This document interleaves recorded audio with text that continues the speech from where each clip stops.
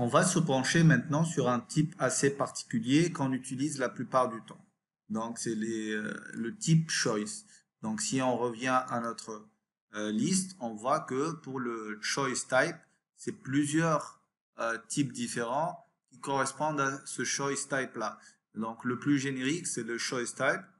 Et on peut voir ici que on a plusieurs options pour ce choice type là.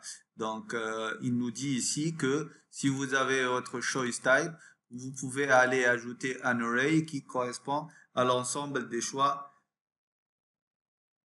possibles. Là, c'est la clé qui va apparaître à l'utilisateur et là, c'est les valeurs qui vont être envoyées euh, au niveau de votre euh, serveur. D'accord? Donc, vous pouvez ajouter des objets, vous pouvez faire ce que vous voulez. Et, à partir de là, vous avez plusieurs choix. D'accord? Sinon, vous avez la documentation qui peut vous informer sur les différentes façons d'implémenter ce choice type-là. Un deuxième point assez important pour ce choice type-là, c'est la façon d'afficher en fait cette liste de choix. Donc, ce que je vais essayer de faire, c'est que je vais aller, euh, je vais supposer que pour euh, la partie CIN, c'est un choice c'est un choice type. D'accord? Ça n'a pas de sens, mais c'est juste pour, essayer, pour vérifier. Hein. Donc, une seconde. Voilà. C'est bon? J'ai besoin de ça. Et je vais aller lui dire que ça va être, euh, donc si on reprend la documentation, c'est dans la partie array, donc c'est les options choices. Vous voyez que là, par exemple, l'option choices, elle ne peut être que pour les types spécifiques choice type. Parce que ça n'a aucun sens de mettre des choices pour un type text type. Vous voyez? Mais donc ici, je vais mettre mon tableau. Je vais aller lui dire, je veux avoir des euh, choix. OK? Donc, euh, choices, si vous ne mettez pas de clé valeur, euh, en fait, il va prendre directement les valeurs. Donc là, on va lui dire que pour les choix, ça va être euh, quoi?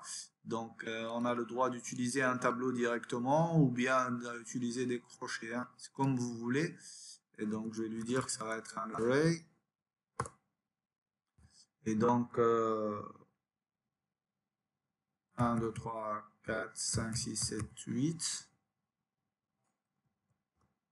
virgule, CTRL D, CTRL D, CTRL D, et là je vais mettre 9, là je vais mettre 6, et là je vais mettre 5. Et donc, si on actualise, euh, bah, ou bien on va avoir une erreur, ou bien on va avoir une liste ici au niveau du CIN, euh, de la CIN. Par contre, voilà, vous voyez, c'est 0, 1, 2, c'est quoi ça? 0, 1, 2, 3. Bon, apparemment, c'est parce que voilà. Ici, ok, ok, ok. Donc, euh, c'est clé valeur, ok, d'accord. C'est ce qui va être envoyé. Donc, ça.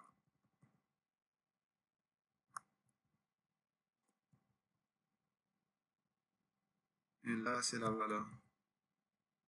6, 7, 8. Donc, je vais pas me casser la tête. Je vais refaire ça. Hop. Et donc là, c'est 9. Là, c'est 9. Et là, c'est 9. Donc ici, pour changer, c'est 9. 9 et 9. Voilà. Je vais actualiser pour voir ce que ça donne. Voilà, là j'ai mes valeurs, vous voyez. Et euh, donc, euh, je peux sélectionner ce que je veux. Ce qui est bien, c'est qu'on peut euh, gérer même euh, l'affichage de cette liste-là. Donc, logiquement, lorsqu'on parle de liste niveau HTML, on a le choix entre une liste déroulante simple, une liste déroulante à choix multiples, euh, des checkbox, donc c'est lorsqu'on veut avoir plusieurs choix, et des boutons radio lorsqu'on veut avoir des choix, des choix et qu'on puisse sélectionner qu'une seule. Ici, puisqu'on a le droit d'avoir une seule valeur. Donc, c'est euh, bien sûr, c'est euh, euh, on va utiliser logiquement les boutons radio.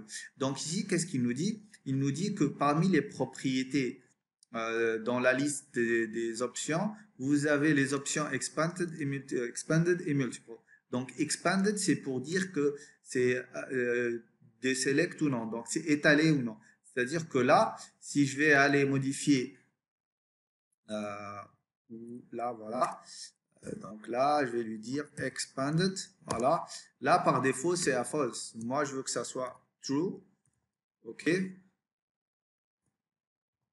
Voilà. Et là, vous allez voir que euh, l'affichage, il va changer. Donc, on va avoir, au lieu d'avoir une, liste, on va avoir des boutons radio.